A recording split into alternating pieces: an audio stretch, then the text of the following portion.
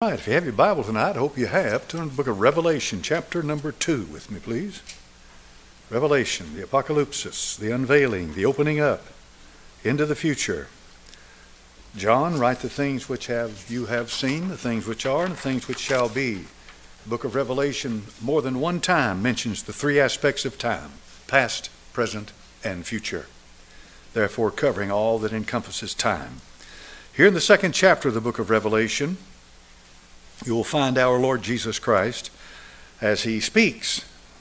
And here's what he says Unto the angel of the church of Ephesus write, These things saith he that holdeth the seven stars in his right hand, who walketh in the midst of the seven golden candlesticks. I know thy works and thy labor and thy patience, and how thou, and how thou canst not bear them which are evil, and thou hast tried them which say they are apostles and are not, and hast found them liars, and hast borne and hast patience, and for my name's sake hast labored and hast not fainted. Nevertheless, I have somewhat against thee, because thou hast left thy first what? Father, bless this book. Give me unction to preach it. Lord, you, I pray that you use this time we have together for the glory of God. Lord, it's precious. Time is precious. It's not, it's not to be frittered away and wasted. I pray in Jesus' name. Amen. You can be seated. Now, there are seven churches addressed here. I was privileged one time to go with Brother Bob Bevington to the Holy Land. These churches, most of them are in what's modern day Turkey. And you'll find that uh, if you go visit the places, you'll find that many of these places there are no churches per se. There is one in Smyrna, and that's where Polycarp was the pastor, and he was a martyr of our Lord Jesus Christ. They burned him at the stake. They could not consume his body.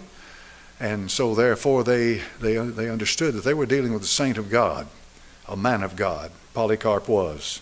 He lived 80 something years, freely gave his life for his faith in Christ. There's a church there. But when you come to Ephesus, you'll find that uh, there's no church. And if you'll notice carefully in Revelation chapter number 1, in verse number 18. Let's set it in context so we'll understand what this means. Revelation 1:18, I am he that liveth and was dead, and behold I'm alive forevermore. Three aspects of time, past, present, and future. And he says, Amen, which is a Hebrew word now, folks. You'll find that in Greek, but the Hebrew word amen means so let it be. It's akin to Selah. Think on this, and may God bless, and so let it be and have the keys of hell and of death. You ever wonder why it needs keys? Why is it locked? Verse 19 Write the things which thou hast seen, the things which are, and the things which shall be hereafter. The mystery of the seven stars, now watch carefully, which thou sawest in my right hand, and the seven golden candlesticks. The seven stars are the angels of the seven churches and the seven candlesticks which thou sawest are the seven churches. Now, there's a lot of controversy as to what he means by the seven stars. To understand the seven candlesticks representing a church, which is the light of the world, is not too hard to understand that whatsoever. That's what we're here for. The light of the world is not the government, the light of the world is not the educational system. The Light of the World is not uh, any secular organization. They, although, though the Scripps Howard for years on their newspapers, they said uh, they showed a lighthouse, I think it was, back in the 60s, the Knoxville News Sentinel and the Journal, I forget which one it was. But it had a lighthouse and it says, Give the people light and they shall find their way. The implication, of course, is that that newspaper is the source of light. Uh, how many of you would believe a newspaper today to be the source of your light? Um, right, exactly. That's the response you'd get. No, uh, but back then, back in the 60s and the 70s, uh, I grew up, of course, here in this town, and they had two daily newspapers, one in the morning, one in the evening, one in the afternoon. And uh, the idea was that if you read this newspaper, you're going to be informed and you're going to have the light, you're going to get the light, and it's going to direct you as to how you should live your life. Well, I'm going to tell you this the only source of true light is the Lord Jesus Christ because He said, I'm the light of the world. So the candlestick is no problem. The church of God is the source of light. It's the stars in the hand of this one in Revelation chapter number one. The controversy is uh, who is this star? What does the stars represent? uh, if you'll notice carefully, Acts chapter number 20, at Ephesus, when the Lord, uh, speaking through his apostle, said, After my departure, grievous wolves shall enter in, not sparing the flock. Of your own selves shall men arise, speaking perverse things, to draw the disciples after themselves. And he warns them be prepared, take the oversight, lead my people, guide them into truth. And so, therefore, the bishop and the elder is responsible for the spiritual life of a church, of an assembly of believers, and ultimately uh, lying in the hands of the bishop because he's the pastor of the church. And it's a very important thing to understand, therefore, that that bishop is accountable. I'm accountable for Temple Baptist Church, and I know that. I have to give an account to God. I do. Now, each of you give an account for your life, for the life you live, your responsibility. You're responsible. The Bible said, Whatsoever a man soweth, at that man shall also reap. Well, that's personal, as personal as it gets. But I watch for your souls. That's my responsibility. So the, you, it wouldn't be hard to believe that in the hands of this one, these seven stars would represent the seven pastors of these churches. They're in his hand, in his hand. And so, therefore, when you look at it from that perspective, you begin to understand how that he is guiding his church through his pastors and that that church is a light to this darkened world and the problem is that the Lord Jesus can remove that light of that individual church and it doesn't mean that the body of Christ goes dark, but the local church may. That's individual, as I said a moment ago. There is a church in Smyrna, but you'll find none in Ephesus and go around to these other places, bare fields. Laodicea, for example, had some stones piled on top of each other. And I remember the, I remember the, how desolate it appeared. There's a town next to it, but there's no church there. And so the indication is that the Lord said that if you don't bear the truth, if you don't shine the light, uh, I'll remove you. You'll have no reason for existence. And that's why we're here. We're here to preach the truth. We're here to tell men and women about Christ, and He is the truth. And if the, if the church is not preaching Christ, they're preaching a lie. It may be a good sounding lie. It may, it may essentially be, uh, you know, uh, uh, theologically uh, pretty close to the truth. But if you don't preach Christ, you're not preaching the truth. For He is the absolute perfection of all doctrine. He's the end of the law for righteousness' sake. There is nothing higher than Him, there's nowhere to go past Him. The Lord Jesus Christ is the consummation. He finishes, He perfects everything that God ever demanded or ever gave to men. He finished it with the Lord Jesus. When He said, It is finished, He meant it was finished. And the divine of the Lord Jesus Christ, the Godhood of the Lord Jesus Christ that came from glory, went back into the hands of the Father. The soul of that God man that came into being 2,000 years ago went down into the heart of the earth. And that body of the God man that walked on this earth for three and a half years, 30, 33 and a half years was laid in a tomb. And this is what we're dealing with here. He said, I am he that liveth and was dead, and behold, I'm alive forevermore. You can't kill God. It is impossible for God to die. And the Lord Jesus Christ was as much God as God the Father. For he said, If you've seen me, you've seen the Father. Amen. No question. So, what we have here then is a rebuke, and it's not because they're not preaching the truth, they're preaching the truth. They've held to the truth, and they've lifted up the truth, and they've, they've judged those who call themselves apostles and found them to be liars, and they've had patience. That's a good thing. All of these noble, noble uh, things that he addresses to the church at Ephesus, they're good things. But the one thing that he holds them accountable for, and that's quite remarkable when you look at it, because I want you to think with me tonight now. I want you to notice what he says in verse number four. Nevertheless, I have somewhat against thee, because thou hast done what? He didn't say lost. He said what? Left your first love.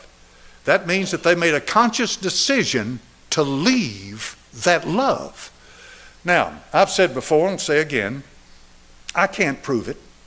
Uh, there are certain things that I'll say that I may nece- not necessarily be able to go to the Bible and prove, but there's not one word in that Bible from Genesis to Revelation that says an angel can love.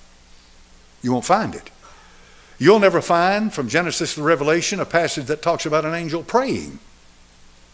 But these are things highly spiritual that are given to us the ability to love. In plain words, we can love Him in returning to Him the kind of love He gave us. Now, it doesn't get any more personal than that. There's nothing any greater than that in your life. If tonight you still believe all the fundamentals of the faith, that's good for you. But do you love Him? And this is something that you don't give lip service. You don't give lip service to God. He knows the heart. He knows if you love Him. Now, there's a lot of reasons why you may love Him, and I can name a few of them tonight, but I'm not going to jump ahead of myself. I just want you to think it through. Do you love Him? If you've ever really spent any time in observing the cross, let the Holy Spirit take you on a tour of the cross and of Gethsemane and really look at it. I mean, really look at it. Look at it not only in its physical aspect, but look at it in the sacrifice that was made. And look at how personal it becomes. The Lord Jesus Christ went to that cross freely. He said, I'll lay my life down. No man takes it from me. And the cross is one of the most horrible forms of death that you could ever imagine. Whoever cooked up the idea of a cross, it came straight out of hell. No question about it. Because the cross is not so much as an instrument of death as it is an instrument of torture. That's exactly right. They want the person to suffer as much suffering as possible. So therefore the cross becomes a place of torture. Don't you think it's remarkable that before God ever made a man, that he chose that to die for that man, that he would be tortured for that man? And if that does not bring a response out of your soul tonight to love Him because He did that for you, if you can take a tour of the cross and of Gethsemane where His sweat became great drops of blood and the burdens of all eternity bore down on His soul to the point that God had to send His angels, His angels, to bear Him up as He went through this. If you can, if you can take a tour of all of that tonight and it doesn't bring love out of your soul for Him, I wonder what's in your soul. I really do. Because it's, it's one thing for you to, as the Pharisee, he had his list of what he believed. I'm sure his doctrine was pure. I'm sure he, I'm sure he, was, he, he had received all the applause that he possibly could. And I'm sure that's all well and good among men. But it's this idea that you reach up to one and say, it doesn't matter how much it hurts. It doesn't make any difference how far I've fallen. It doesn't make any difference if I've if I've fallen in within myself that I have no answer for what I've done, I can make no more excuses, I still love you. And there are people out there that don't go to church, but they do love Him. And don't be so quick to judge them.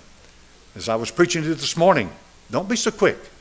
Uh, I've learned down through decades that, that uh, God is eminently greater than I am in the ability to judge. And let me tell you something if they do love him, they will come to themselves one day. And he said, Those I love, I chasten. And when you chasten a child of God, it's a personal thing. It's so personal because they know that the one that loves them, they know that love is real. They've experienced that love and they'll love him back. Love will do the job. There's nothing greater than love on this earth. If you've never been loved and never have loved, you've missed. You're a dying person. You're dead. You're dead on the inside. You're a, you're a machine. You, you're, you're, you're, you're no greater than artificial intelligence. And let me tell you something about it. In just a few days, they're going to bring uh, Elvis Presley, and they're going to bring a hologram. A hologram is a three dimensional uh, uh, appearance, okay? That in itself is quite a thing. But then it rises above that. It comes to the point of artificial intelligence producing this image of Elvis Presley. Now, Elvis Presley died the year I came to Temple. I think it was 1976, somewhere in there. He was born 1935. And uh, if, you, if you weren't alive back in the time when Elvis was, they called him the king, you really don't understand. I mean, he was the voice of voices among all voices. All tried to attain to the heights of Elvis Presley. No question. Let me give you an idea of what it means for the artificial intelligence. Here you have a hologram of Elvis Presley, all right? And it's artificial intelligence. And you walk up to that hologram, and that hologram looks at you and addresses you by your first name and tells you where you came from and who your parents were.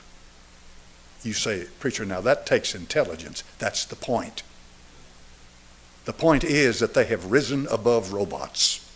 They have risen above uh, what appears to be just limitations of humanity. And they're trying to warn people. And I, I didn't mean to get off on this, but I'm going to tell you while I'm at it.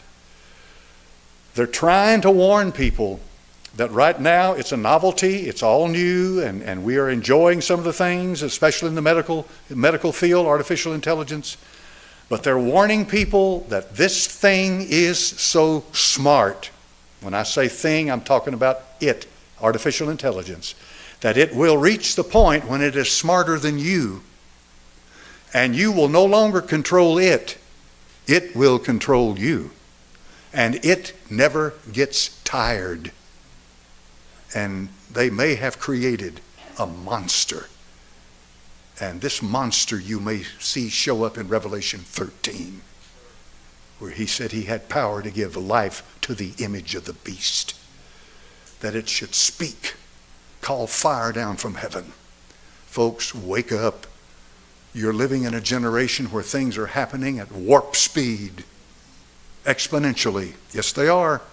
What used to take 10 years now sometimes takes 10 days. We're at that point. So what does that do? Does it scare you, preacher? No, it fires me up. Lord's coming back. Hallelujah to God. How do you know? Daniel said, knowledge shall increase. And that knowledge increasing is not so much going from a steam engine to a four wheel car. It's the knowledge that we have right at our disposals today. You have more power in that cell phone you've got in your pocket than that first computer that's cost hundreds and hundreds and hundreds, of millions of dollars. You're carrying it around right now in your pocket. That's how far they've come. So the angels in the Bible, the very, very profound thing, for it says the angel, this is the angel of the church of Ephesus, or the angel of the church of Laodicea, or the th- angel of the church of Thyatira, or the angel of the church of Smyrna. And on he goes when he names the seven of them. The angel in the Bible can be a manifestation of God Himself in the Old Testament, the angel of the Lord. An angel in the Bible can be, as it was when Rhoda went to the door and Peter was in jail, and he, she said, Peter's out here. And they said, It's his angel. What did they mean? His guardian angel? Why would he come and announce anything? What they were saying was, it may be a, a manifestation of him, a spirit appearance of him. You don't believe in spirits? Then you don't believe in the Bible. Amen. You better believe it. You know, and they're everywhere today. So an angel is a manifestation, but an angel can be a created thing. It can be a thing like an angel, Gabriel and Michael and so forth. It, that's its being. It's made as an angel. And uh, that, that, most of the time in the Bible, that's what it's referring to. But don't ever limit yourself when it talks about an angel to simply mean something with wings that flies around and it's a being, an angelic being. Uh, there's far more in the Bible than that. So, what we have in Revelation to open up for us here tonight is the simple fact that maybe I and maybe every other minister that is pastoring an assembly of believers has a representation in the presence of Almighty God. You remember what he said about the children? What did he say about the little children? He said, Their angel doth behold the face of my Father. Did he not? What's he mean by that? Somebody said, well, that's their guardian angel. Well, you can't be sure of that. It may very well be. And remember this remember this. When you get into the spirit world, spirit world, all right? Forget all the laws of physics, forget all the laws that, that bind creatures, you know, in time and space. Forget it. When Satan showed the Lord Jesus Christ all the kingdoms of the world in a moment of time, what did he do? He showed him the kingdoms of the world, past, present, future, just like Revelation. In a moment of time, he said, This has been given to me. I can give it to whomsoever I will. And he is today, because that's who we wrestle against. So, what is the essence of a spirit? Nobody knows. Don't ever let them tell you they know, because they don't know. We know typology when, so forth and so on. Since we do not know the essence of a spirit, there is no way in this world that you can know where a spirit can be, when a spirit can be, how a spirit can be, what can happen when a spirit shows up or disappears, or things of that nature. And I'm not trying to scare you tonight. But I'm trying to tell you that out here in this world, when they're ghost chasers and there's big thing on TV all the time about uh, they use this high tech equipment to measure whether a ghost has been there or not, and all this stuff, and people get all carried away with it. Well, let me tell you something.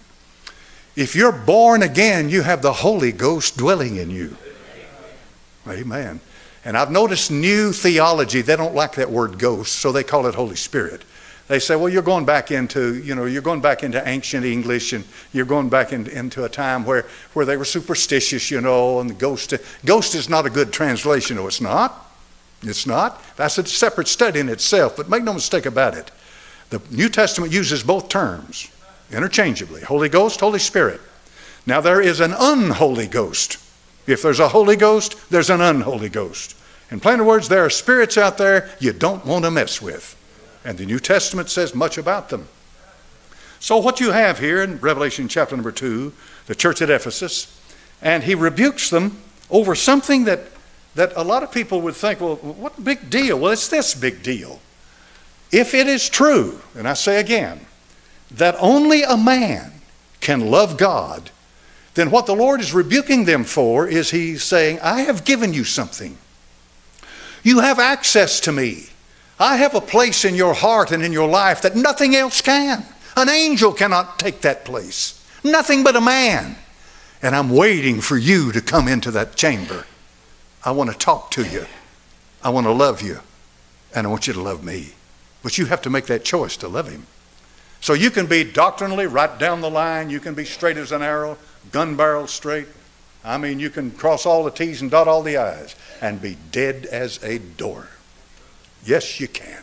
You know why? Because the Holy Ghost will not bless a bunch of self righteous, self absorbed people.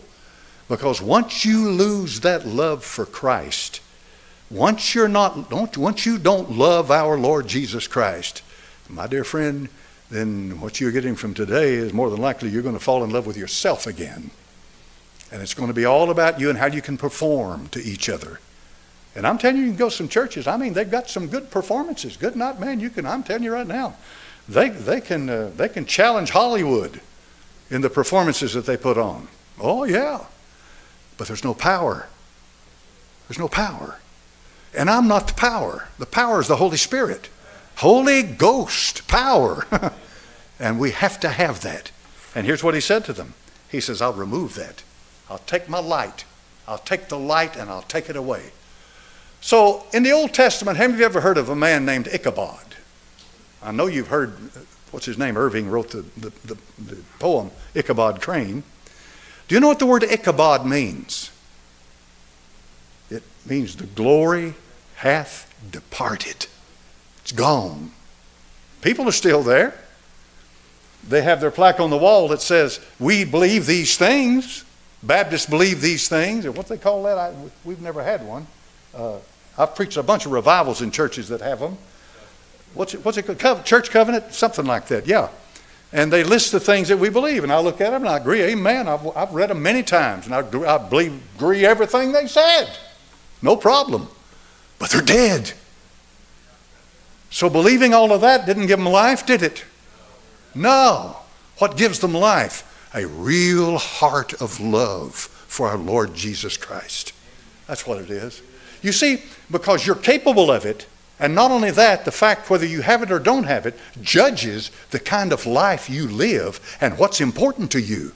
For where your treasure is, there will be your what? Exactly. How many of you tonight would sell the Lord for a million dollars? Put him on the auction block, sell him for a million bucks. I had a million dollars. If I had a million dollars, sell the Lord. I, could, I mean, I could have myself a time, right? Well, I could get I could I could get falling down drunk for six months. I haven't been drunk since 1973. Budweiser went out. If they if they were if if I kept them up, they'd you know they'd be. But that's nothing great about me. I just quit it when I got saved. Quit it. I quit it. I did. Did my share. Oh yeah. I'm not up here to brag on the devil, but God God gave me grace. Amen. He did. He did. I wouldn't sell him for a million dollars. I wouldn't sell him for anything. I'm not going to sell him. I couldn't live without him. How important is the Lord Jesus to you?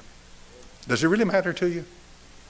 Peter, after his resurrection, lovest thou me more than these? He didn't say, Peter, do you believe such and such and such and such? No.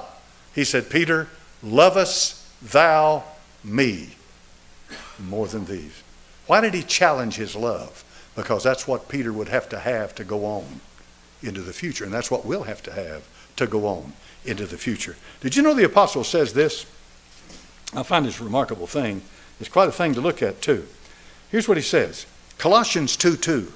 We are knit together in love. Now, how many of you ladies have ever done any knitting where you, my mother in law used to make, make uh, uh, blankets and she'd sew pieces together. And you can go out to the stores today and these blankets are very expensive because it's handmade and they've sewed the squares together. And she would sit for hour on hour on hour and she was making these blankets. She was knitting them together, joining the pieces together. That took patience. It took love too, because she'd give them away. We've got, we've got, wouldn't take anything for it. It's made by my mother-in-law, whom I love very dearly. This is what he says we're supposed to be knit together in love.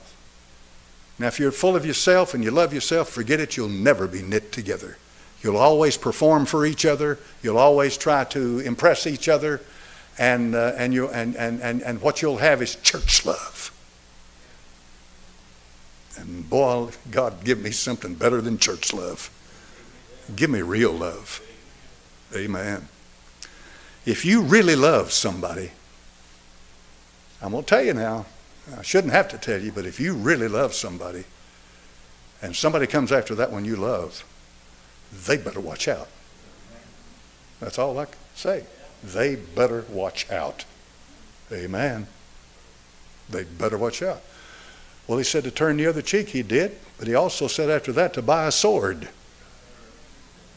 Yes, he did. Remember what I said the other night? Before you jump up and start preaching something, as absolute doctrine, make sure you know everything the Bible has to say about what you're talking about. Everything. In context, past, present, future.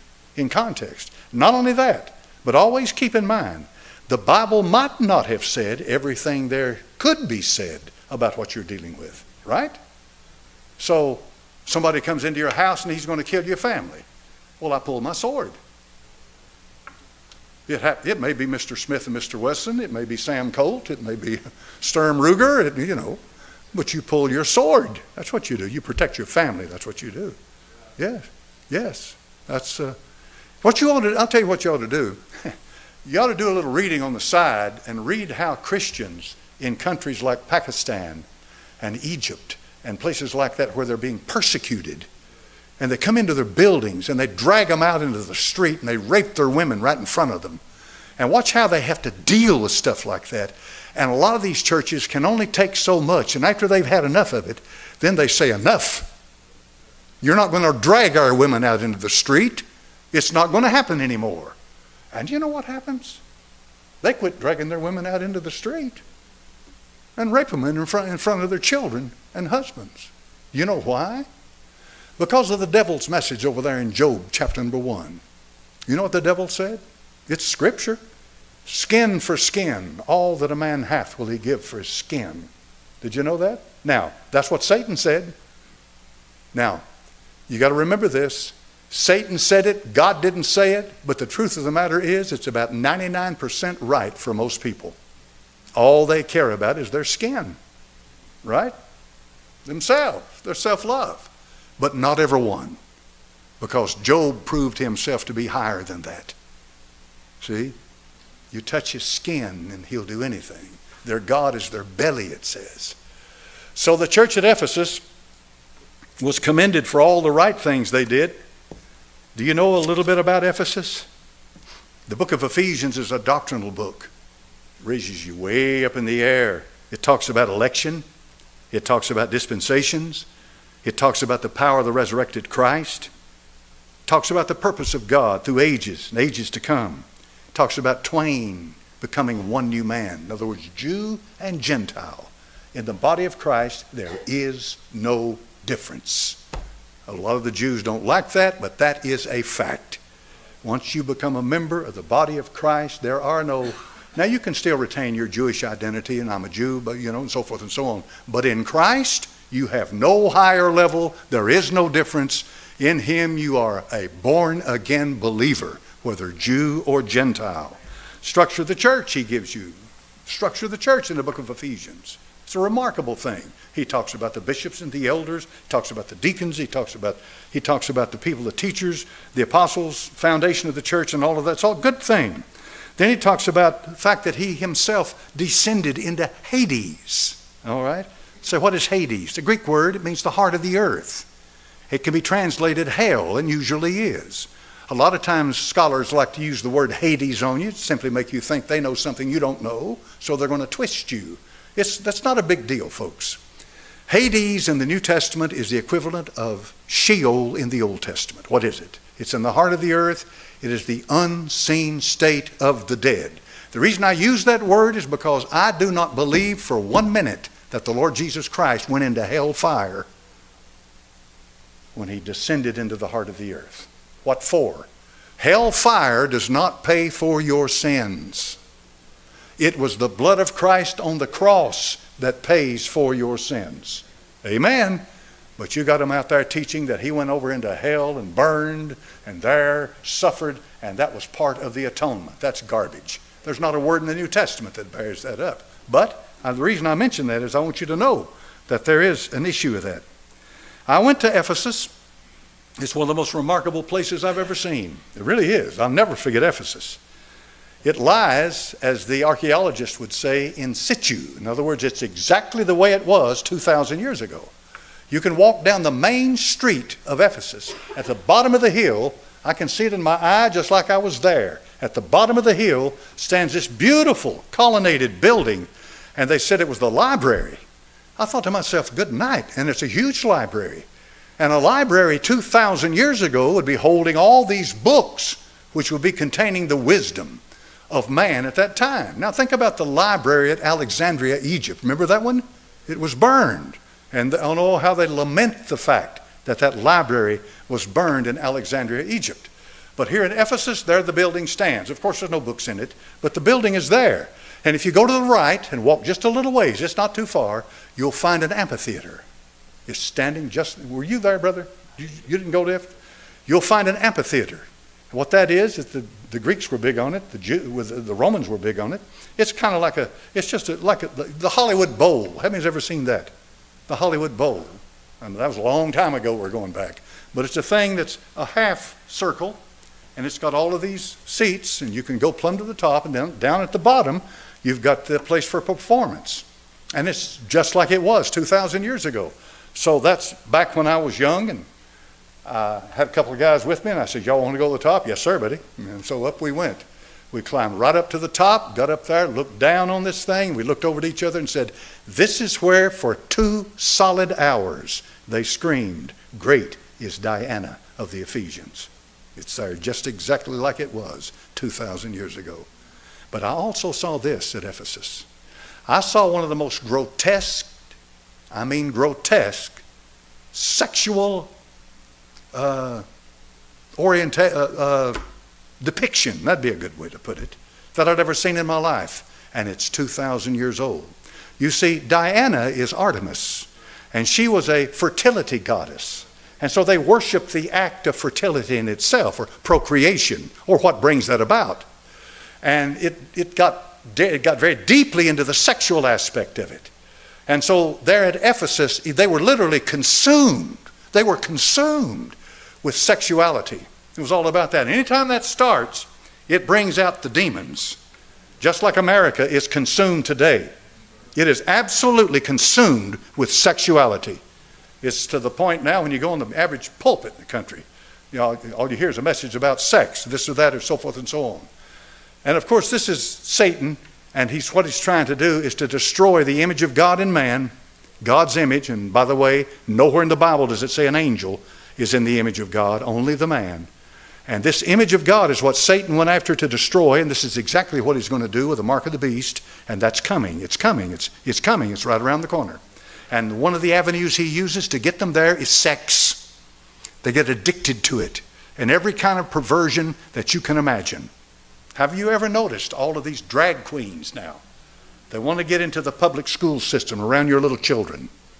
Notice? It's not enough for some man to wake up in the morning as a man and at noon he's a woman and he goes into the women's bathroom or he, he's a man and he and he and he begins to compete athletically with women and so therefore he can go into their dressing room and the women of course are embarrassed to death here stands this male with all his male genitalia and there he stands before them and he's and, and you know what's he doing what's he doing why he, what's it, what's the word for it when you just broadcast yourself out voyeurism or something. I can't remember the word. But they, this, is what the, this is what he lives for. This is what he's in there for. It's not because he wants to be a female. It's because he wants to feed that sexual perversion, that ego, that part within him. That's what he's doing. And the government's supporting him. Yay. Yeah, they are. Yeah, they are. Folks, God made man, he made woman. Male and female created he them. One man, one woman. He brought the man and woman together to procreate and bring children into this world. There is nothing on the face of this earth that's any more blessed of God as for a man and a woman to have a child and have a home and have God's hand upon it. God blesses them, and that's the way it ought to be. Therefore, the children will grow up and their minds will form and they will mature uh, the way they should mature. They'll understand the, the issues of life in the way they should understand them. And that's what, that's, that's, that's, that's, that's what God intended for it to be. But Satan, one of his greatest weapons is to work through sexuality. This is what happened here. So, therefore, the church at Ephesus lost its light. There's no light in Ephesus. You go over there now, no light. So, what will keep Temple Baptist Church alive tonight? What will keep the light here tonight? All right? I don't think that we'd, we'd have any problem with, with a bunch of people getting together and saying, Oh, I don't believe in the virgin birth anymore. I don't believe in the inspiration of the scriptures. I just, no, I don't believe in hell. You know, no, I, I just don't believe it anymore. Okay? Well, you, let me tell you something. That's not the foundation of the church. The foundation of the church is the Lord Jesus Christ. Upon this rock I'll build my church. And He's the rock. And it's our love for Him that'll keep us together and keep the light on here at Temple. So we need to find whatever it is that we need to find that's separating us from the love of Christ if you are. If you don't love Him tonight, there's no more I can really say to you, nothing I can do to help. If you don't love Him, but you've been born again, uh, ask Him to renew the fire in your soul. Maybe you need to put your hand to the plow again. Maybe you need to realize why we're here. These people are lost out here, folks. They're in darkness. They're killing each other. They're raping each other. They are in every sense of the word. They hate each other. Yeah, they do. There's no great, there's no great uh, movement out there to tear the church apart among these people. They don't care. They couldn't care less. You have some organizations and some stuff out there that would like to shut us up, but that's only a minority of what's going on out here. These are just organizations. But as far as the average man on the street, he couldn't care less whether you live or die, whether this place is open or not. He doesn't care about that. Doesn't mean anything to him. But I love Temple Baptist Church, and I love him. And as long as there's breath in this body, I want the light to shine in this place. I do. As long as, oh, God help me to think that I could just walk off and let Temple Baptist Church dry up and die, and the light flicker out and go out. And then one day they drive by and say, You know, there used to be a church down there. Well, they've got buildings, they're using them for a warehouse. We could probably stock a lot of water in here. you know, pretty good sized building. You could use it for a warehouse. No, it's going to be the church of God till He comes to get us. And what will keep us together as the church of God is our love for Him and love for each other. And it'll knit us together where we can't be ripped apart. And if you love each other the way you ought to love each other, First, you have to love Christ, though. You've got to have your love for Christ right. If you give your love for Christ right, the love for each other will come. It'll come.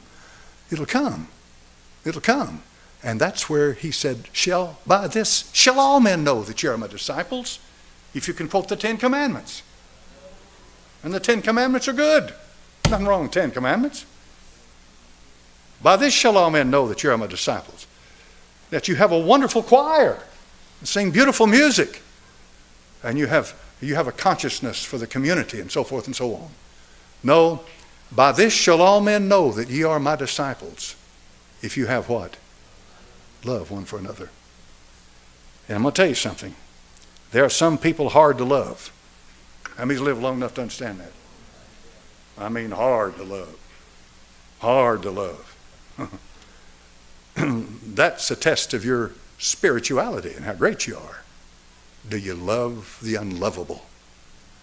Ask God to give you the love in your heart that you need for each other, for the ministry, for the pastor, for the elders in the church, for the deacons in the church, and for all those Sunday school teachers and Wednesday night teachers, and a love for the work of God and for the ministry. Ask God to give you that love tonight. Ask Him to give it to you if you don't have it. Because I'm going to tell you something. There's no doubt in my mind. I'll close with this. I love Him. I love Him. I love Him. I do. I love Him. It doesn't make any difference what men do to me. They may lock me up somewhere, but I still love Him. I love Him. May they can they can come and take every dime I've got away, but they can't take Him away. I love Him. I love Him. Do you love Him? There's every reason you should. Do you love Him? Father, bless your word, time we've had together. Use it for the glory of God. Lord, you rebuked the church at Ephesus and you told them to repent. That's strong talk because they didn't love you. They left their first love. Oh God, tonight, may we know that that's important to you. And you know if we love you. We, you know it. I pray that that would be settled in the hearts of the people in this house that we love you and we love you and we love you. In Jesus' name, amen. All right, well, we'll stand up and sing here tonight. What have we got, brother?